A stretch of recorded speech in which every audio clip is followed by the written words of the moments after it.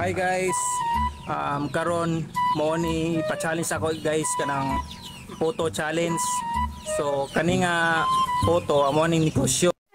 Okay. O mahurot nila ni kaon kay kung kinsay, kung kinsay makaon na og hurot guys tagaan ako og 100 pesos. So mo ni sila guys. Mo Palagay ko nakadroga yan. ni sila. Siya guys ha. Kung kinsay makahurot na nagkaog photo tagaan og 100. So let's go. Ay so karon guys sugdan na nato ni kani mga bataan ni. So sige. 1 2 3 go. Si makauna guys.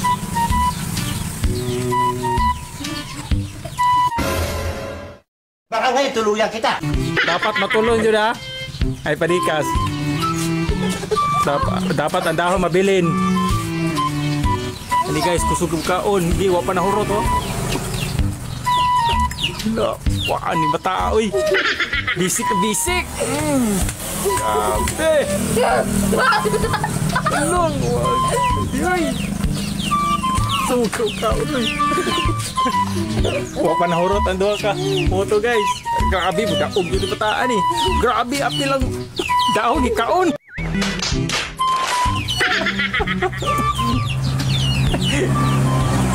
Madaot ka na eh. Daon ni kaon.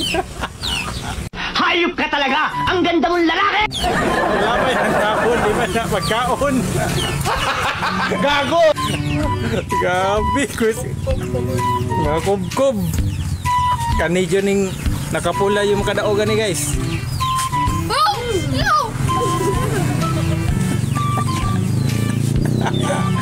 Kaniyo na wild dog. Lawa na. La, urot. Apil lang, apil lang po ng dahon ron. Apil lang po ng dahon tulon ron. Oh. Grabe.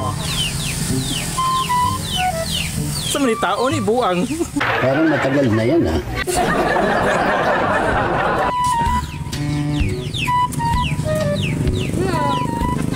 Winner!